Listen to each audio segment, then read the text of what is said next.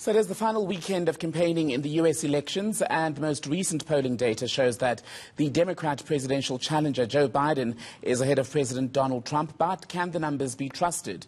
You'll recall in 2016, polls forecast that another Democrat, Hillary Clinton, was in the lead against Trump, but that was not to be because Trump actually won the Electoral College in a victory that, in fact, continues to haunt pollsters in the United States. Let's speak to international relations lecturer at Wits University, Professor Professor John Stremlau then about the integrity and the weight of what we find in the polling. Prof, a very good evening. Great to speak to you. So, how seriously are the polls in the US being taken this time around? Well, a couple of things. One, they're much more sophisticated in understanding the dynamics in so called swing or battleground states. So that when you have a composite of all of the polling being done, as the very good pollster group 538 does almost every day, then you have a good chance of understanding what the odds are. At the moment, it's 90% in favor of Trump Harris, and I mean uh, Biden Harris, and uh, and 10% chance of being elected for um, for Trump and and Mike Pence. Now, that's still significant because surprises could happen in battleground states, or there could be some finagling by Trump who's impugned the integrity of the election process. But at the same time, two other things. One, Trump is now known because he's been president for four years. Back in 2016, a lot of people were apparently willing to take a chance on him. And secondly, you've got the COVID crisis, which is hitting rocket record numbers now, 90,000 today alone uh, in new cases. So that um, it seems to me as though Biden Harris are odds on favors to win, favorites to win. What will happen in the Senate and other down ballot elections is, of course, important too. But I think um, we should know the result by Wednesday morning here. Mm. And you were speaking about how the polls have become more sophisticated then from 2016. What, two of the issues that were raised back in 2016 was that there was an undercounting of Trump support. There was also an issue of the quote unquote shy Trump voter, Americans who supported Donald Trump, but because of some of the reaction to his position, were not willing, at least in the polling, to speak openly about their support for him. In reality, is there any surefire way of getting around those challenges, or do we just have to take the polls with a pinch of salt? Well, Harry Truman famously said the only reliable poll is the one taken on election day, that is the voting. Now, in this case, it's very, very complicated with all the early voting, with all the talk about um, challenges that would be in the courts. But, but by and large, let's not forget that in 2016, Hillary Clinton still won by 3 million votes.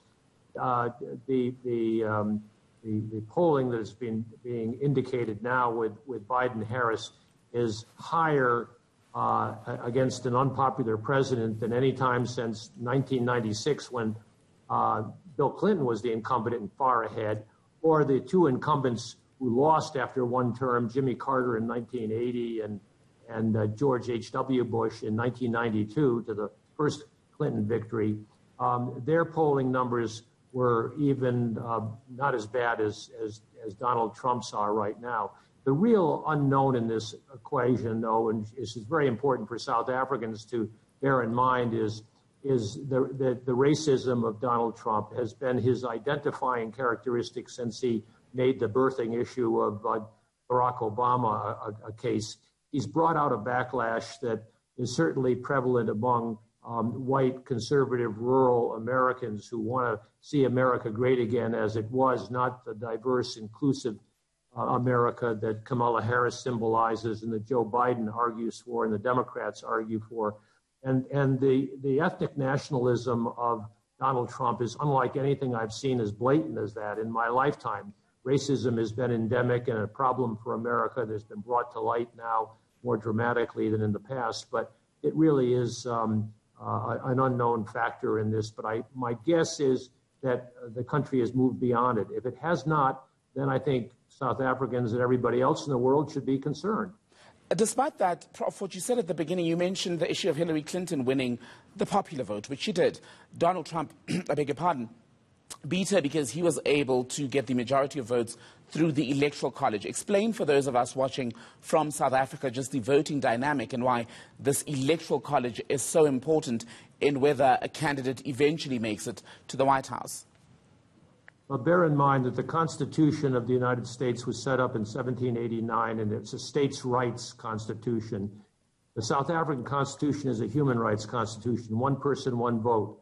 But in the, in the bargain for the 13 colonies as after the uh, independence struggle against Britain, um, the smaller states wanted the reassurance that they would not be dominated by the larger states. And so they created a Senate with two senators for each state. And as a result, today you have a rural state like Wyoming with two senators and less than a million voters next door to California with 40 million voters. This really matters in the uh, Senate composition, which does pass on judicial appointments, as we uh, know famously, because they've just been a very conservative court majority engineered by the Republican minority. But it also factors into the election electoral college because the electoral college is uh, undemocratically weighted for the small, rural, conservative, predominantly white states. And that has been something that they tried to overturn with a constitutional amendment in the 1960s. And the Republicans realized the only way that they can capture, and I use that term in a South African case, capture the state as a minority is through the Electoral College. And even uh, Trump's campaign manager concedes that they'll never win the popular vote.